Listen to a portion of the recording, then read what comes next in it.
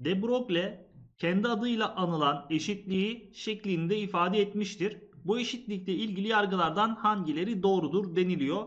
De Broglie dalga boyunu biz bu eşitlikle hesaplıyorduk. De Broglie hem ışığın hem de maddesel parçacıkların hem tanecik hareketine sahip olduğunu hem de dalga hareketine sahip olduğundan bahsediyordu. Zaten yapmış olduğu, yayınlamış olduğu eşitlik de bunu kanıtlıyor. Örneğin maddesel bir parçacık olan futbol topu hareket halindeyken belli bir dalga boyunda enerjide yaymakta. Hem tanecik özelliğine sahip hem de dalga özelliğine sahiptir diyoruz. Toparlarsak ışığın hem dalga hem de tanecik özelliğinde olduğunu destekler diyoruz De Broglie için. Yine buradan yola çıkarak maddesel parçacıkların da az önce futbol topu örneğinde olduğu gibi dalga gibi davranabileceğini de kanıtlamıştır. Yani ışığın hem dalga hem de tanecik özelliği taşıdığını belirtiyor De Broglie. Üçüncü öncül Boraton modelindeki çizgisel yörüngeyi destekler demiş. Arkadaşlar Boraton modelini oluştururken ışığın sadece tanecik hareketinde olduğunu dikkate almıştır. Dalga hareketine dikkate almadan atom modelini oluşturmuştur. De Broglie ise ne demiştik? Işığın hem tanecikli yapıya hem de dalga hareketi yapısına sahip olduğunu söylüyordu. Dolayısıyla De Broglie eşitliğinden Boraton modelindeki çizgisel yörüngeyi destekler ifadesinin sonucunu çıkaramıyoruz. Çünkü De Broglie hem ışığın tanecik hem de dalga hareketinde olduğunu söylüyordu. Borda ise ışığın sadece tanecik hareketinden oluştuğunu belirtiyordu. Dolayısıyla burada bir destekleme söz konusu değil. Sorumuzun doğru cevabı C şıkkı olacak. Atomun kuantum modelinin oluşmasına katkı sağlayan yukarıdaki bilim insanları ile ilgili bu bilim insanlarının görüşleri hangi seçenekte doğru eşleştirilmiştir deniliyor. Öncelikle görüşü okuyalım.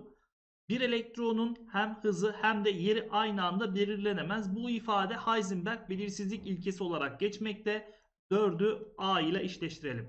Bir diğer görüş elektronlar çekirdek etrafında belli yörüngelerde dolanır. Yörünge kavramını Bohr kullanıyordu arkadaşlar. 2'yi B ile eşleştiriyorum. Bir diğer görüş elektronlar hem dalga hem de tanecik özelliği gösterir. Bu ifadede de Broglie'ye ait 3C ile eşleşecek. Son olarak elektronların bulunma olasılığının yüksek olduğu yere orbital denir. Bu görüşte Schrödinger'e ait birinci öncülde B ile eşleştirdik. O halde sorumuzun doğru cevabı B şıkkı olacak. Kuantum sayılarına matematiksel değer verilerek elde edilen dalga fonksiyonuna orbital denir. Orbitalleri tanımlayan kuantum sayıları ile ilgili aşağıdaki yargılardan hangisi yanlış? Sorumuz kuantum sayıları ile ilgili olarak gelmiş. A şıkkı baş kuantum sayısı yani n atomun temel enerji seviyelerini, elektron kabuklarını belirtir. Arkadaşlar baş kuantum sayısı orbitalin önündeki sayıydı. Mesela 2s orbitalindeki 2 bizim baş kuantum sayımızdı ve elektronun bulunduğu temel enerji seviyesini belirtmekteydi. A şıkkı doğrudur. B şıkkı açısal momentum kuantum sayımız yani L'miz orbitalin şekil ve türü hakkında bilgi vermekteydi. Bir orbitalin S, P, D ya da F olduğunu L'sine bakarak belirliyorduk. Eğer L değerimiz 0 ise S, 1 ise P, 2 ise D, 3 ise de F orbitalinden bahsedildiğini söylüyorduk. Dolayısıyla orbitalin şekil ve tür hakkında açısal momentum kuantum sayısı bilgi vermekte. C şıkkı manyetik kuantum sayısı ML'miz orbitalin uzaydaki yönlenmesini belirtir. Bu ifademiz de doğrudur.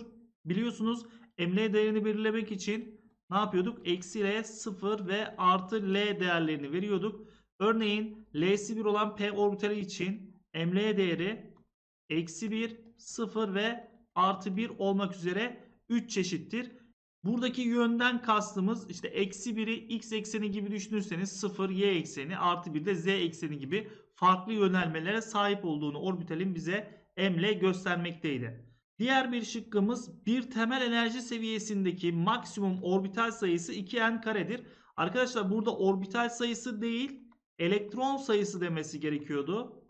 Bir temel enerji seviyesindeki maksimum elektron sayısını biz 2n kare ile belirliyorduk. Örneğin n değerine 1 verdiğimizde birinci temel enerji seviyesinde en fazla 2 elektron olduğunu, 2 koyduğumuzda en fazla 8 elektron bulunduğunu, 3 koyduğumuzda 3. temel enerji seviyesinde en fazla 18 elektron olduğunu ve 4 koyduğumuzda en fazla 32 elektron taşıdığını söylüyorduk o temel enerji seviyesinin. Bu arada bu bilgimiz ilk 4 katman için geçerliydi arkadaşlar. Sonuç olarak D şıkkında bize maksimum orbital sayısı denildiğinden dolayı D şıkkımız yanlıştır.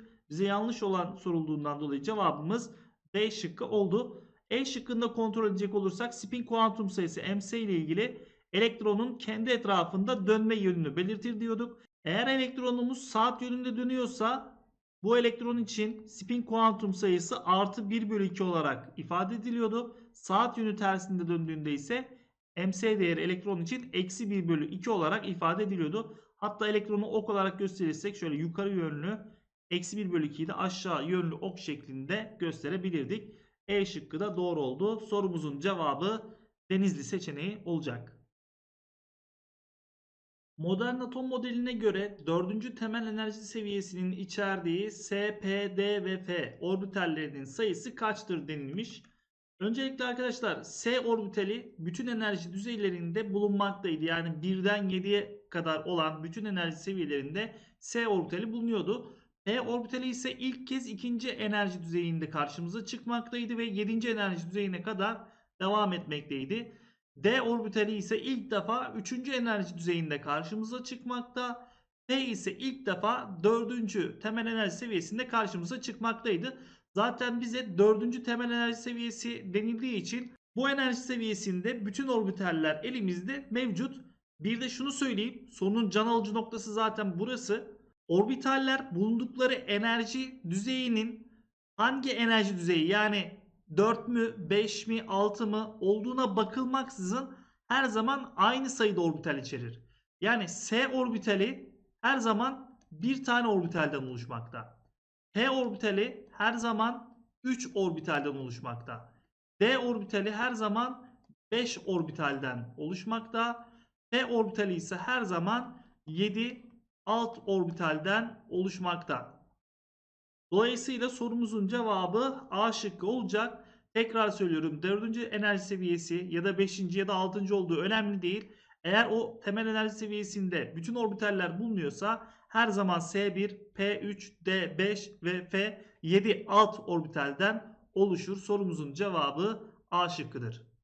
Bu arada belirtilen orbitallerin kaç alt orbitalden oluştuğunu 2L artı 1 formülüyle de belirleyebilirdik. Mesela S'nin L değeri 0, P'nin 1, D'nin 2, F'nin 3'tü. Buna göre S için yerine koyduğumuzda L yerine 0, S için 1 orbital olduğunu, P orbitali için yerine koyduğumuzda L'si 1'di. 2L artı 1'den 3 değerine ulaşıyoruz. D için L eşittir 2 değerini yerine koyduğumuzda 5 ve F için L eşittir 3 değerini yerine koyduğumuzda 7 orbital bulunduğunu bu formül üzerinden de belirleyebilirdiniz. Dediğimiz gibi cevabımız A şıkkı olacak. Aşağıdaki verilen kuantum sayılarından hangisi mümkün değildir denilmiş. Öncelikle hangi enerji düzeyinde hangi orbitaller vardı bunu bir belirleyelim. Burası önemli. Birinci enerji düzeyinde sadece S orbitali bulunmaktaydı. İkinci enerji düzeyinde S ve P orbitalleri. Üçüncü enerji düzeyinde S, P ve D orbitalleri. Dördüncü enerji düzeyi S, P, D ve F orbitallerinden oluşmaktaydı. Bundan sonra 7'ye kadar S, P, D ve F orbitalleri bulunmaktaydı. Şimdi de açısal momentum kuantum sayısı olan L'den bahsedelim. Biliyorsunuz orbitalin türünü belirlemekteydi. L değeri 0 iken orbital türümüz S idi. 1 iken P, 2 iken D, 3 iken ise F orbital türünden bahsediyorduk. Son olarak emle açısal momentum kuantum sayımızın formülü neydi? Orbitalin yönünü belirlemekteydi. Eksi L 0 ve artı L ve bu değerlerin arasındaki tam sayılar bize eml değerini veriyordu. Tekrarlıyorum. Eksi L ve artı L dahil ve arasındaki tam sayı değerleri bizim eml kuantum sayımızı belirlemekteydi. Ve bu sayılar orbitalin yönünü tayin etmekteydi. Şimdi öncüllerin yorumuna geçelim. L değerlerinden başlamak istiyorum. A şıkkında L'si 0 demiş. Yani S orbitalinden bahsetmiş. S orbitali birinci enerji düzeyinden 7. enerji düzeyine kadar bütün enerji düzeylerinde bulunmaktaydı. Dolayısıyla n eşittir 1 değeri mümkündür. ML değeri de dediğimiz gibi eksi L 0 artı L arasında olduğu için L yerine 0 koyduğumuzda MC değeri 0 olarak gelmekte. A şıkkı mümkündür diyoruz. B şıkkına bakalım. L değeri 1 demiş. Yani P orbitalinden bahsetmiş. P orbitali ikinci katmanda bulunuyor muydu? Evet bulunuyordu. Burası doğrudur. ML değeri eksi 1 olabilir mi? L'si 1 olduğu için yerine koyarsak eksi 1, 0 ve artı 1 değerlerini alacağından dolayı ML eksi 1 değeri de mümkündür. C şıkkına baktığımızda L değeri 2 yani D orbitalinden bahsediyor. D orbitali ilk kez 3. katmanda karşımıza çıkmaktaydı. Dolayısıyla doğru diyoruz. L değerini yerine yazdığımızda eksi 2, eksi 1, 0, artı 1 ve artı 2 değerlerini aldığı için artı 2 değeri de ML değeri de D orbitali için mümkün. Hatta şöyle yazalım yanlarına. Eksi 2, eksi 1, 0, artı 1, artı 2 değerlerini alır. Burada eksi 1, 0, artı 1 değerlerini alır. Burada sadece 0 değeri geliyordu. D şıkkına baktık. B ve C doğru dedik. D şıkkına baktık. Yine S orbitali. ikinci katmanda S var mı? Evet. 1'den 7'ye kadar bütün katmanlarda bulunuyordu. Doğru. ML değeri artı 1 olabilir mi? Hayır olamaz. Eksi L 0 artı L arasına L değerine 0 koyduğumuzda tek bir sayı değeri çıkıyor. Da 0. Artı 1 olamaz. Bize mümkün olmayan soru olduğu için cevabımız D şıkkı. Dediğimiz gibi neden mümkün değil? ML değeri artı 1 olamaz. Bu yüzden 0 olmalıydı. Son olarak E şıkkında kontrol edersek L değerimiz 3 iken orbital türümüz F'dir. F ilk kez 4. katmanda karşımıza çıkmaktaydı. N değeri 4 olabilir. ML değeri eksi 3 denilmiş. L 3 olduğu için eksi 3'ten artı 3'e kadar bütün tam sayı değerlerini alabiliyor. Dolayısıyla burada eksi 3 değeri de mümkündür arkadaşlar. E şıkkı da doğru dedik. Sorumuzda yanlış olan sorulduğu için cevabımız D seçeneği oldu. Sınır yüzey diyagramı yukarıdaki gibi olan orbitalle ilgili aşağıdakilerden hangisi yanlıştır deniliyor. Sınır yüzey diyagramına baktığımızda P orbitalinin verildiğini bize görmekteyiz. Bildiğiniz üzere P orbitalinin şekli şöyle sonsuz işareti gibi bir şekilde gösteriliyordu. Ve toplamda 3 adet P orbitalimiz vardı.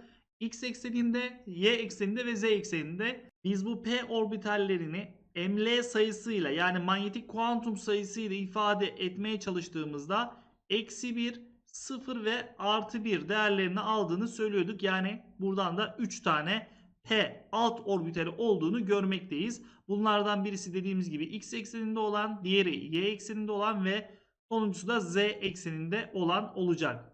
Bunları da şöyle çizebiliriz hatta. Şöyle Y ekseninde şu şekilde çizdiğimizde de Z ekseninde P orbitalimiz olacak. Toplamda 3 tane var. Öncüllere bakalım. Baş kuantum sayısı en az 2'dir. P orbitali karşımıza ilk kez ikinci enerji düzeyinde çıkmaktaydı. Dolayısıyla A şıkkımız doğrudur. Arkadaşlar size tavsiyem şu şemayı bilelim. Birinci katmanda sadece S orbitali, ikinci katmanda S ve P, üçüncü katmanda 3 tane orbitalimiz var SP'de. Dördüncü katmanda 4 tane orbitalimiz bulunmaktaydı ve bu orbital türleri 7. enerji düzeyine kadar ilerlemekteydi. Dolayısıyla burada da gördüğümüz üzere P orbitali ilk kez ikinci katmanda karşımıza çıkıyordu. Hatta şunu da söyleyebilirim. Bir orbitalin ilk kez hangi katmanda karşımıza çıktığını L artı 1 formülüyle de belirleyebilirsiniz. Bunu da yazalım. Evet orbital türü ilk kez hangi katmanda karşımıza çıkar dersek L artı 1 ile de yorumlayabilirsiniz. P orbitalinin L değeri 1 olduğundan dolayı 1 artı 1'den ilk kez ikinci katmanda karşımıza çıkar. Ya da dediğim gibi şu şemayı ezberlediğimizde zaten hangi orbitalin ilk kez hangi enerji düzeyinde karşımıza çıktığını görmekteyiz. Bu arada enerji düzeyi ve katman aynı anlama geliyor. Kafamız karışmasın. B şıkkı açısal momentum kuantum sayımız L'miz 1'dir. Az önce de söyledim. P orbitalinin L değeri 1'dir. C şıkkı manyetik kuantum sayısı ML'si eksi 1 olabilir. Bakın burada ML değerlerini yazmıştım. ML'nin formülü neydi? Eksi L 0 artı L şeklinde belirleniyordu. Ve bu sayı değerleri arasındaki bütün tam sayı değerleri de ML değeri olarak karşımıza çıkmaktaydı. L yerine 1 koyduğumuzda P orbitali için karşımıza 3 değer çıkıyor. Eksi 1, 0 ve artı 1. Burada da eksi 1 olabilir denildiği için C şıkkı da doğru. D şıkkı Spin kuantum sayısı ms değeri artı 1 bölü 2 olan 2 elektron bulundurabilir denilmiş. Arkadaşlar bu ifade yanlış çünkü ms değeri yalnızca 2 değer alabiliyor. Birincisi artı 1 bölü 2 diğeri de eksi 1 bölü 2. Yani ya saat yönünde dönecek elektronumuz ya da saat yönü tersinde. Bir alt orbitalde iki elektronun yönü aynı olamaz. Birisi yukarıdaysa diğeri aşağıda olmak durumunda. Yani bir artı 1 bölü 2 ise diğeri eksi 1 bölü 2 olmak durumunda. Hatta bu kurala da biz Pauli ilkesi diyorduk. Dolayısıyla iki elektronun da aynı yönde olma ihtimali yoktur. Bu orbitali şöyle bir tane P alt orbitali gibi düşünebilirsiniz. 3 tane P alt orbitalinden yalnızca birincisi bir tanesi bu şekilde düşüneceğiz. Dediğimiz gibi bu orbitale yerleşen elektronlardan birisi artı 1 bölü 2 ise MS'si diğeri eksi 1 bölü 2 olmak zorunda. İkisi de aynı anda artı 1 bölü 2 ya da eksi 1 bölü 2 olamaz arkadaşlar. Bu yüzden D seçeneği yanlıştır. Cevabımız D seçeneği oldu çünkü bize yanlış olan sorulmuştu. Son olarak E şıkkına baktığımızda 3px orbitaline ait olabilir denilmiş. Bakın x ekseninde olduğu için biz bu orbitali px orbitali olarak da tanımlayabiliriz.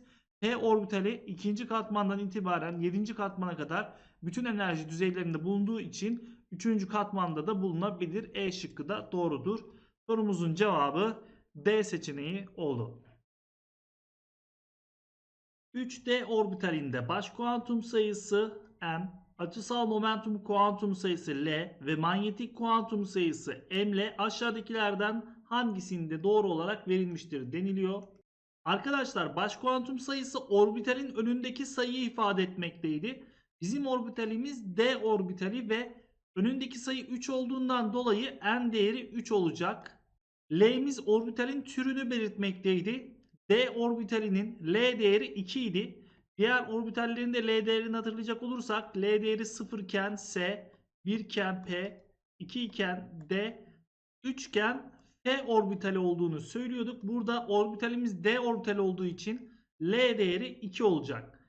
ML değerinin formülü ise eksi L 0 artı L ve bu sayılar arasındaki tam sayı değerleri ML kuantum sayısını bize vermekteydi. Bizim orbitalimizin L'si 2 olduğundan dolayı alabileceği ML değerleri eksi 2, eksi 1, 0, artı 1 ve artı 2 olacaktır. Şıklara baktığımızda doğru cevabın C şık olduğunu görmekteyiz. Verilen orbitallerde bulunan elektronların niceliklerinden hangileri aynı olabilir denilmiş. Öncelikle şöyle bir tablo yapalım. Orbitallerimizi buraya yazalım. Kuantum sayılarını da yukarı yazalım. N, L, ML ve MS şeklinde. Tablomuzu oluşturduk. Öncelikle baş kuantum sayılarını belirleyelim. Baş kuantum sayısı orbitalin önündeki sayıydı. Elektronun çekirdeğe olan uzaklığı hakkında bilgi vermekteydi. 2S'nin baş kuantum sayısı 2. Orbitalimizin önündeki sayı. 2p orbitalinde yine baş kuantum sayımız 2. 3d'de baş kuantum sayımız 3. 4p'de baş kuantum sayımız 4 olacak. L değeri orbitalin türünü belirlemekteydi. S için L değerimiz 0'dı. P için 1'di. D için 2 idi. F için 3'tü. Görüldüğü gibi şu ana kadar incelediğimiz kuantum sayılarından 4 orbital içinde aynı olan bir durum söz konusu değil. N'i ve L'yi eliyoruz. Manyetik kuantum sayısı ML değerine geldik. ML değerinin formülünü yazalım. Eksi L 0 artı L ve bu iki yani eksi L ve artı L arasındaki tam sayı değerleri de ML'yi belirliyordu. ML değeri bize orbitalin uzaydaki yönelmesinden bahsediyordu. S için L değeri 0 olduğu için yerine yazdığımızda ML değerimiz sadece 0 olabilir. 2P için L değerimiz 1 olduğundan dolayı alacağı ML değerleri eksi 1, 0 ve artı 1 şeklinde olacak. Yine 3D için L'si 2 olduğu için eksi 2, eksi 1, 0, artı 1 ve artı 2 şeklinde olacak. Son olarak 4F için emre değerini yazacağız. L değeri 3 olduğundan dolayı eksi 3, eksi 2, eksi 1, 0, artı 1, artı 2 ve artı 3 şeklinde olacak. Emre değerlerini incelediğimizde bu 4 orbital içinde aynı olabilecek değerimiz 0 değeri. Bakın 2S emre değeri 0 olabilir. 2P'de de 3D'de de 4F'de de olabilir. Yani ML değeri 0 olursa 4 orbital içinde aynıdır diyoruz. Zaten bize ihtimal sorulduğu için o zaman ML değeri aradığımız özelliklerden birisidir. MC değeri bütün orbitaller için ya artı 1 bölü 2'dir ya da eksi 1 bölü 2'dir arkadaşlar. MC değeri elektronun dönme yönüyle ilgili bize bilgi veriyordu. Eğer artı 1 bölü 2 ise saat yönünde, eksi 1 bölü 2 ise saat yönü tersinde. Dolayısıyla MC değeri 4 orbital içinde aynı olabilir. Ya artı 1 bölü 2 ya da eksi 1 bölü şeklinde. Üçüncü öncülde ihtimaller arasındadır. O halde sorumuzun cevabı 2 ve 3 olan C seçeneği olacak. 3p orbitalinde bulunan bir elektronun kuantum sayıları aşağıdakilerden hangisi olamaz denilmiş. Kuantum sayıları zaten yukarıda verilmiş. Tek tek inceleyelim. 3p orbitalindeki baş kuantum sayımız orbitalin önündeki sayı olan 3 değeridir. n değerine 3 dedik. L'miz orbitalin türüyle alakalıydı. P orbital olduğu için L değerimiz 1 olacak. ML değerine geldiğimizde ML'nin formülünü hatırlayalım. Eksi L 0 artı L ve bu iki değer arasındaki bütün tam sayı değerleri ML değeri olarak karşımıza çıkmakta. Bizim L değerimiz 1 olduğundan dolayı formülde yerine yazdığımızda alabileceği ML değerleri eksi 1, 0 ve artı 1 şeklinde olacak. Son olarak spin kuantum sayısına geldiğimizde her elektron için artı 1 bölü 2 ya da eksi 1 bölü 2 şeklinde olabilir. Bize hangisi olamaz denilmiş. Buna göre yorumumuzu yapalım. Baş kuantum sayımız kesinlikle 3 olacaktı. Verilen şıkların tamamında n'in 3 olduğunu görüyoruz. L değeri kesinlikle 1 olacaktı. Yine verilen şıkların tamamında L değeri 1. ML değerini inceleyelim. ML değerimiz eksi 1, 0 ya da artı 1 olacak. Verilen şıklara baktığımızda D seçeneğindeki ML değerine eksi 2 denilmiş. Eksi 2 değeri ya D orbitali için ya da F orbitali için geçerli bir değerdir arkadaşlar. P orbitalinin ML değeri eksi 2 olamaz. O halde sorumuzun cevabı D seçeneği olacak. Bize olamayan soruluyordu. Son olarak spin kuantum sayısına baktığımızda ya artı 1 bölü 2 ya da eksi 1 bölü 2 alabilir demiştik. Verilen şıkların tamamında artı 1 bölü 2 ve eksi 1 bölü 2 değerleri mevcut. D seçeneğindeki ML değerinin yanlış olduğundan dolayı sorumuzun cevabı D şıkkı oldu. X ve Y orbitallerinin kuantum sayıları ile ilgili aşağıdaki bilgiler veriliyor. Buna göre X ve Y orbitalleri ve içerdikleri elektron sayıları aşağıdakilerden hangisi olamaz denilmiş. Öncelikle kuantum sayılarından yararlanarak X ve Y orbitallerini belirtelim. X orbitalinin baş kuantum sayısı 2 imiş. L'si 1 olduğu için L'si 1 olan orbital türümüz P orbitaliydi. Bakın MC değeri spin kuantum sayısı artı 1 bölü 2 ve eksi 1 bölü 2 değerlerine sahip. Hatırlarsak Hund kuralı ne diyordu bize? Eş enerjili orbitallere P orbitali 3 tane eş enerjili orbitalden oluşmaktaydı. Elektronlar önce aynı yönlü olarak tek tek yerleşir. Önce aynı yönlü tek tek yerleşiyor. Burada MC değeri artı 1 bölü 2. Eksi 1 bölü 2 MC değerine sahip elektron olabilmesi için en az P orbitalinde 4 elektron bulunmalı. Yani bir orbitale yerleşen ikinci elektron ne olacak? Ters spinli olacak. Bu da Pauli ilkesiydi. Dolayısıyla X orbitali 2P4, 2P5 ya da 2P6 olabilir. Bu koşullarda hem MC'si artı 1 bölü 2 hem de eksi 1 bölü 2 olan elektronlara sahip olmuş olacak. Y orbitalini de belirleyelim. Y orbitalinin baş kuantum sayısı 3. L'si 2. L'si 2 olan orbitalimiz D orbitaliydi. D orbitali toplamda 5 tane alt orbitalden oluşmaktaydı. Bakın burada sadece MC değeri artı 1 bölü 2 olacak. MC değerinin artı 1 bölü 2 olabilmesi için Hund kuralına göre ne oluyordu? Önce tek tek yerleşecekti elektronlar. Bakın 3D1, 3D2, 3D3, 3D4, 3D4'te küresel simetriden dolayı 3D5 diyelim direkt. Çünkü 4S2, 3D4 ne yapıyordu? 4S1, 3D5'e geliyordu. Yani 3D4 orbitalini yazamıyoruz. Bu şekilde yazabiliriz. Bize olamayan sorulmuştu. Şıklara bakalım. X için 2P3 olabilir mi? Hayır olamaz. Çünkü 2P3 olsaydı arkadaşlar MC değeri sadece artı 1 bölü 2 olan ya da sadece eksi 1 bölü 2 olan elektronlar bulunacaktı. Hem artı 1 bölü 2 hem de eksi 1 bölü 2 olabilmesi için P orbitalinin en az 4 elektron içermesi gerekiyor. Bize olamayan sorulduğu için cevabımız direkt A şıkkı olacak.